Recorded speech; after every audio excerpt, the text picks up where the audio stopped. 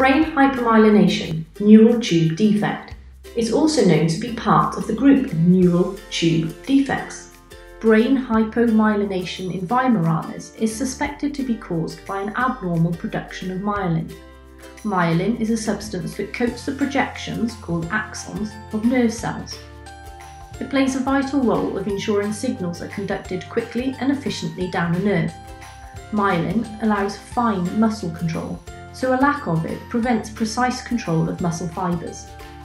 Mode of inheritance is autosomal recessive, and breeds affected are the Weimaraner, both the short and long hair.